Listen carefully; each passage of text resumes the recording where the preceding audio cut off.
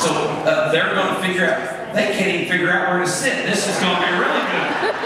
All right, here we go, guys.